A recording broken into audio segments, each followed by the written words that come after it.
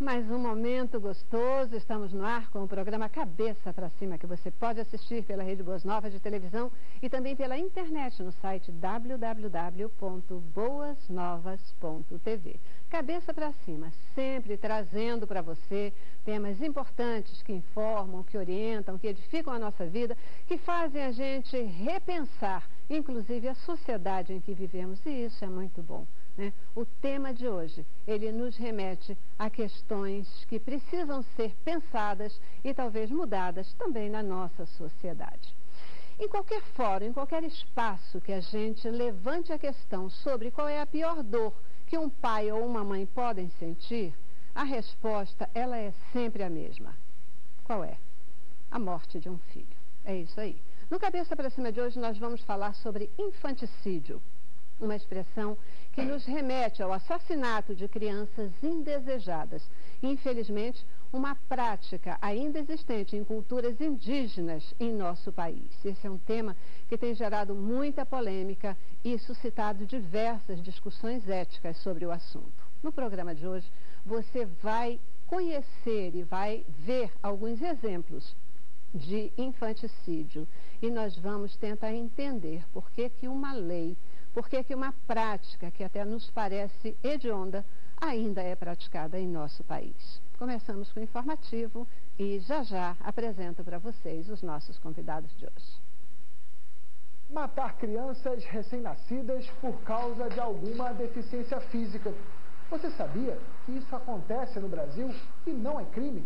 A Constituição garante a grupos indígenas a prática do infanticídio, o assassinato de bebês que nasceram com algum problema de saúde. O infanticídio entre indígenas é comum, tema que já gerou documentários, projetos de leis e muita polêmica em torno de saúde pública, cultura, religião e legislação. A prática acontece em pelo menos 13 etnias indígenas do Brasil, principalmente nas tribos isoladas, como os Suruarras, Yanomamis e Camaiurás. Cada etnia tem uma crença que leva a mãe a matar o bebê recém-nascido. Um projeto de lei que pretende erradicar o infanticídio já foi aprovado em duas comissões da Câmara Federal e agora vai para a votação no plenário. Os antropólogos defendem a não interferência, já que essa prática é cultura dos índios. A quantidade de índios mortos por infanticídio no país é uma incógnita. Nos dados da FUNASA sobre a mortalidade infantil indígena, esse número aparece somado a óbitos causados por lesões, envenenamento e outras consequências de causas externas. Esse grupo responde por 0,4% do total das mortes de menores de um ano de idade. É isso aí, gente. É, o nosso informativo nos dá uma visão assim bastante geral, mas abrangente, né, do que, que é o infanticídio e onde ele ainda está acontecendo em nosso país. Um assunto que merece ser discutido. Graças a Deus, leis aí em andamento para mudar o rumo dessa história, mas em defesa da permanência dessa prática tem a manutenção da cultura indígena. O que, que você acha a respeito disso? Qual a sua posição? O que, que a gente pode fazer para interferir nesse processo e garantir até a mudança de uma prática que não é possível que a gente ache que ela mereça ser respeitada. É minha opinião pessoal. Vamos falar sobre infanticídio. Infanticídio indígena no Cabeça para Cima de hoje. E para conversar conosco, temos aqui no estúdio o Cacatsa Camaiurá. Cacatsa Camaiurá, ele que é índio da tribo Camaiurá do Alto Xingu, no Mato Grosso, e ele também é formado em transculturalidade na Nova Zelândia. Muitíssimo obrigada por você estar aqui, Cacá, para falar com a gente hoje. Eu que agradeço pela oportunidade de estar falando um pouquinho da, da situação em que vivemos hoje em dia no, no Brasil. Aham. Obrigado. É, na sua tribo, é, essa prática, ela existe? Ela é, é, isso é uma prática, o infanticídio? Então, a, vamos dizer que há 10 anos existia muitas essa prática de várias formas, por causa de deficiente, uhum. gêmeos, filho de mãe solteira, uhum. ou sexo indesejado. Uhum. Mas é, depois foi o, o, desenvolvimento da cultura também, a cultura é dinâmica, muda com o tempo. Então, é, a gente adquire outros conhecimentos também de outros povos, até mesmo de fora. A sociedade leva o conhecimento uhum. através das palestras, então diminui bastante essa prática, uhum. mas acontece ainda. Tá certo. Vamos já já entender um pouco mais essa história e a abrangência dela. Quero apresentar para vocês também Marcelo Chaurel, ele que é advogado e presidente da Comissão de Direitos Humanos da OAB aqui no Rio de Janeiro. Muitíssimo obrigada, doutor, por estar aqui com a gente também.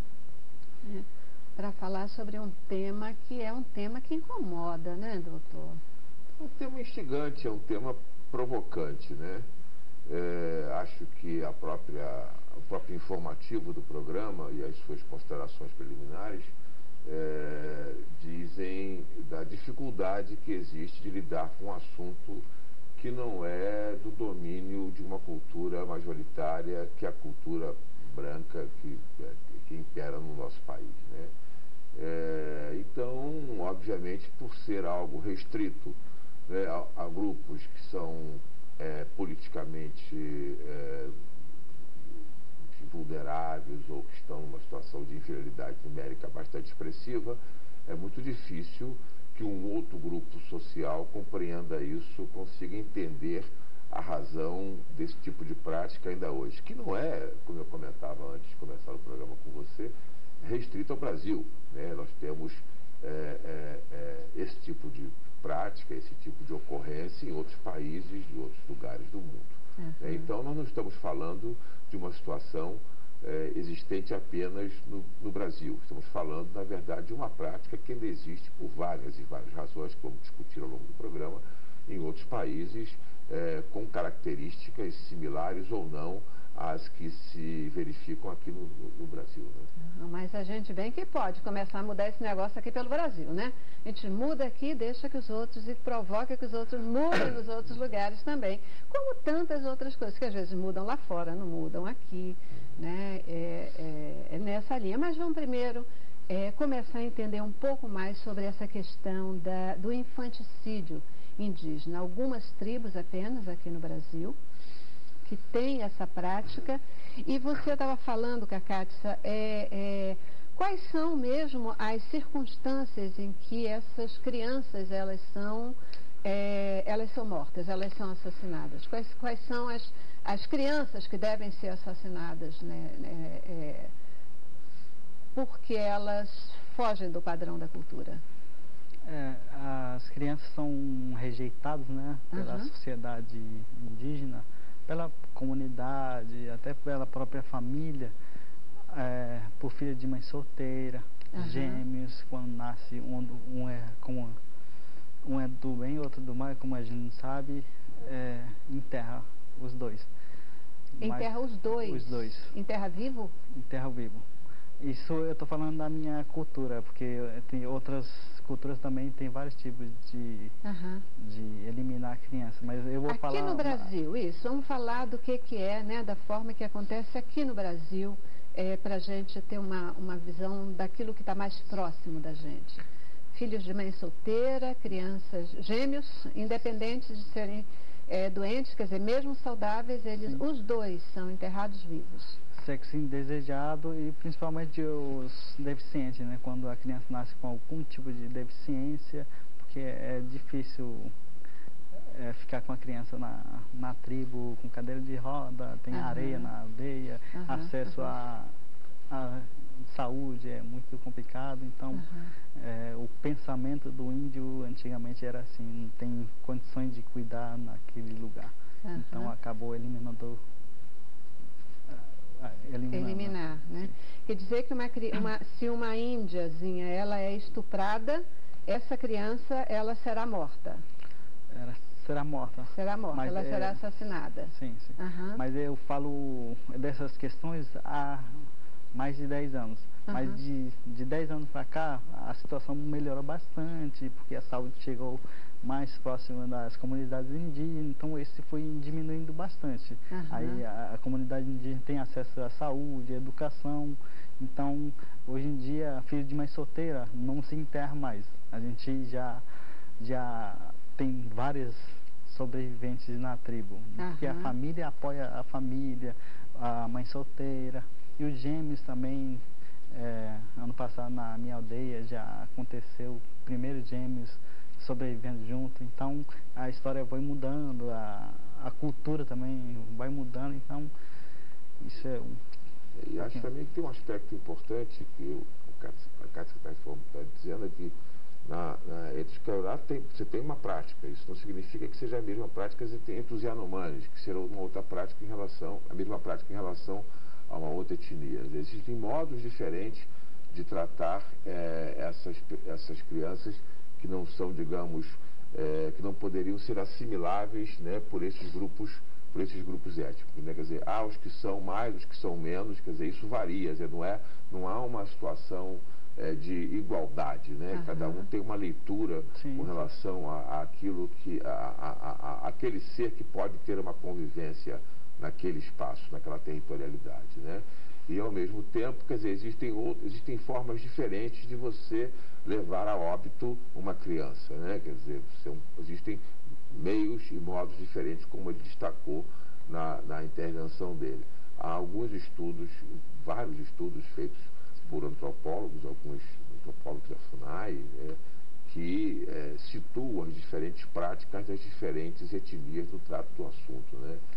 E de fato um há um, diferente, de uhum. fato há um aspecto interessante, porque muito, muito difícil de ser compreendido por nós brancos, que é o problema da saúde de uma criança que nasce com problemas extremamente difíceis e que se há um tipo de suporte, há um tipo de tratamento nos centros urbanos, né, é praticamente impossível, inexistente, praticamente inexistente é, em, em, em, tribos é, isoladas, em lugares muito remotos, que existem cuidados, exigem cuidados permanentes, diários e com determinado nível de sofisticação Aqui não se tem que se, pessoas pobres e humildes das periferias brasileiras não têm acesso, que dirá comunidades indígenas reclusas, afastadas e assim por diante.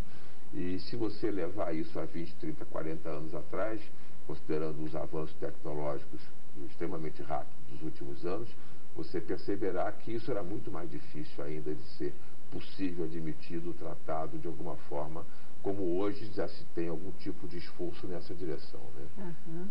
Quando a gente fica falando é, é, é, é, dessas questões né, do infanticídio e, e, e, certamente a motivação dos índios é uma motivação diferenciada, mas, por exemplo, Hitler também, né? Ele tinha um olhar assim, só pode subsistir, é, vamos, vamos, vamos garantir a, a, a, pureza da raça, vamos deixar vivo só quem não tem problema, quem é assim, tarará. Quer dizer, era, era talvez um olhar, assim como tem diferentes tribos que pensam de forma diferente, mas é um olhar seletivo, quer dizer, se você não é um ser humano... diferente, né? Porque, na verdade, é... o, na verdade o, o, o nazifascismo é. tinha uma, uma, uma, preocupação com a eugenia da raça branca, propriamente dita, uhum, queria eliminar todos eles, e não por uma questão de, de, impossibilidade de sobrevivência naquele meio. É bem diferente. Ali você tinha claramente um corte de outra natureza.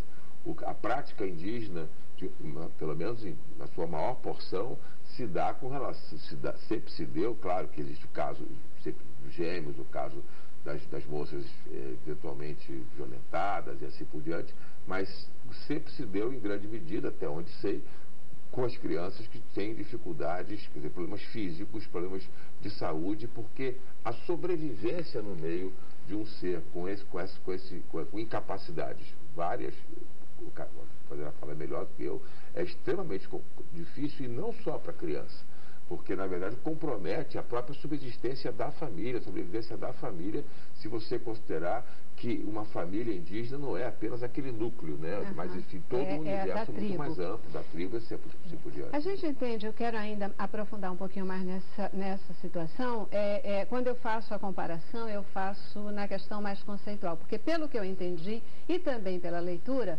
é, é, na busca né, de informações para a gente poder conversar um pouquinho aqui. É, e aí, por favor, me ajustem, porque eu posso tá, com, com o olhar errado.